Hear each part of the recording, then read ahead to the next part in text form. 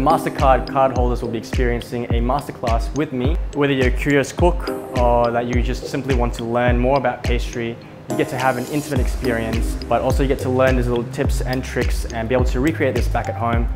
I'm Reynold Poernomo and I am one of the owners of Koi Dessert Bar.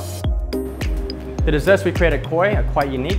We play around flavors towards the Asian palate, such as the mango yuzu, we also have the strawberry and lychee, and what makes it so special is, I guess, the garnishing and the way it looks. The Moss dessert is my signature dessert that I created a couple of years ago and it's evolved since then. Now you get to experience this masterclass where you get to recreate my signature dessert.